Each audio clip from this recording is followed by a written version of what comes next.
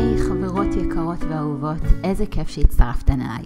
אז היום אני הולכת לשתף אתכן באחד המהפכים הכי מדהימים שראיתן בחייכן, וזה לא פחות ולא יותר בבית של האחד והיחיד,